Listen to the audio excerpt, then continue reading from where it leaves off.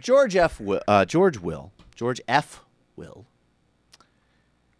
has been around. I mean, he has been sort of slinging his patented brand of bow tie clad, pseudo intellectual, airy reactionary mediocrity.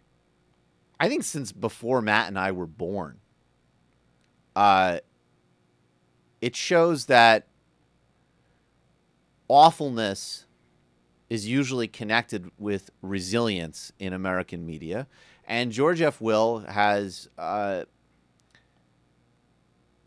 with all the pretensions of a Regency costume drama and the intellectual heft of Ann Coulter, still writes for the Washington Post, appears regularly on the prestigious Sunday morning shows, and but yet, uh, given his actual true nature and his actual intellectual vitality, has wound up on Fox News, which is where he actually belongs. Because if you want um, Sean Hannity without the uh, gym teacher masculinity, and you want uh, Bill O'Reilly without the charisma, and you want all of them without the humor, and you want Brian uh, Kilmeade without.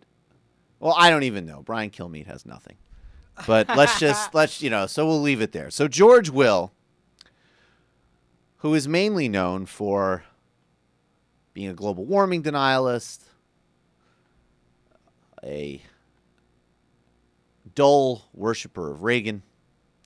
He's been needing to up his game since he moved over to Fox. He's been needing to move more towards the Benghazi end of things. And it should come as a surprise to no one that George F. Will is a misogynist. So, how did George F. Will, in the past couple of days, uh, manage to insert himself in the bloodstream and earn his, I'm sure, extravagant pay at Fox. He did it by writing a column for the Washington Post called Colleges Become the Victims of Progressivism. And this is George F. Will's hopeful entrance into the debate on sexual assaults in colleges. And of course, it's a beautiful timing after a mass shooting, which I think if we lay up all the debates aside and we don't have to relitigate all the stuff with this and that of various aspects of that case, I think anybody with any genuine intellectual integrity would say that obviously misogyny played some role in it. And President Obama giving an address a couple of months ago on sexual assault, some incredibly alarming numbers. George F. Will enters the debate with these doozies. Quote, now the Obama administration is riding to the rescue of sexual of quote quotation marks sexual assault victims. It vows to uh, well actually let me let me get down. It vows to get away from the ambiguities of the hookup culture, this cocktail of hormones, alcohol, and the faux sophistication of today's prolonged uh, adolescence of especially privileged young adults.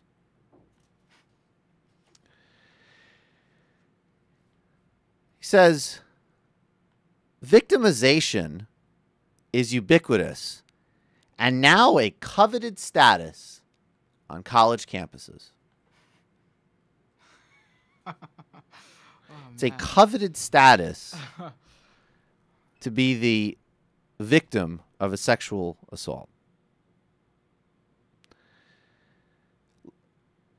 He goes on to create a bunch of cloud around the statistics. And look, there's no question that obviously how you measure these things is always going to pose a challenge. But I think anybody with any integrity would say that the much more prevalent problem is these things going underreported and not getting addressed, not the potential ambiguities that could arise in the future. Look, we don't want anybody to get falsely accused. We don't want, you know, of course. But what's the actual problem we face today? The actual problem we face today is that there's very solid statistics that at the very least 19% of women in college campuses have experienced attempted or completed sexual assault since entering college. And moreover, looking at this adult male who occupies tremendous privilege in this country, the problem of stigmatization of these crimes leads victims to underreport, leads colleges to follow policies which in effect discourage reporting actual and we're and, and let's be clear let, we're talking sexual assault period okay? I'm, we're not talking all these other scenarios that they throw in to complicate the issue. Sexual assault happens it happens regularly and it's a dangerous environment for women period. And when you add taking to a platform like the washington post with all of the pseudo intellectualism you can muster to basically say women are whores, college is confusing, stuff happens, it's liberal hookup culture's fault. And being a victim is a coveted status. I I don't know if you've ever spoken to anybody who's experienced sexual assault. I don't know if you've ever interacted with someone who had someone close to them physically assault them, someone who had been drugged in an attempt. Any young person today and any adult, any older person, but I would say I think I think some of these conversations are more open now. I am literally shocked, even as someone who knows the numbers and is not delusional about these things. I am astounded by the amount of women that I know who have experienced some level of sexual assault or sexual predation. It's absolutely astonishing. And if we can't move past that and we can't move that baseline, and we're going to have our heads up our asses about this, and George Will is going to use his platform to make light of it and turn it into another silly progressive boogeyman, and everything is just a debate about 1990s speech codes, we're not going to get anywhere. And I would just call on anybody. And this might sound kind of cliche or saccharine, but look, if you, I mean this quite seriously, if you have a mother or a sister or a daughter, or think you will have a daughter in the future, or have any woman in your life that you have respect and connection to, you cannot dissociate from the reality of this. It doesn't mean all men are bad. It doesn't mean that things aren't complicated. It doesn't mean, you know, all of the nonsense you throw. But there are undeniable numbers 19% sexual assault. That is a solid number from the CDC.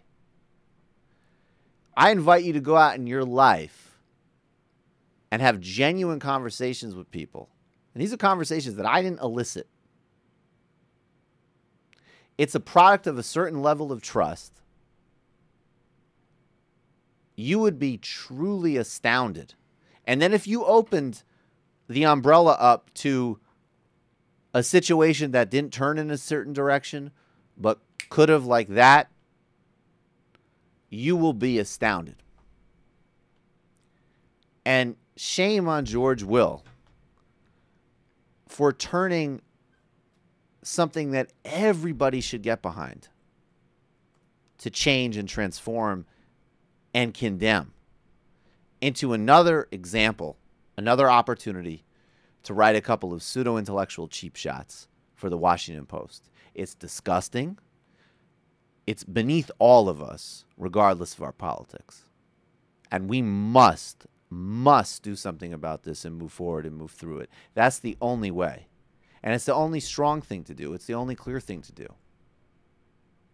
If every single time you identified someone who was the victim in some type of systemic sense, if you don't see the logic of how that applies here, but you see the logic of how it applies in inequality, you have to see it's the same threat.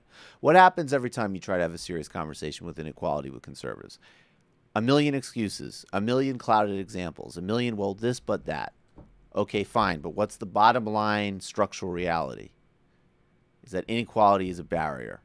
The bottom line structural reality is that women, whether in the military, whether in college, whether in the street, are victims of forms of sexual assault and sexual violence at a rate that if anybody had intellectual integrity and basic decency would be profoundly disturbed by. And that doesn't implicate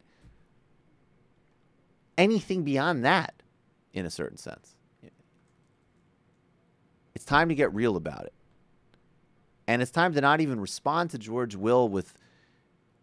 I don't even want to respond to the rage and shock that he wants. I want to respond to him like he's a disgusting, passe object that we might have to call into account sometimes, but we can start to just safely work together and let that recede into the recesses of an unpleasant and hopefully in the future irrelevant history.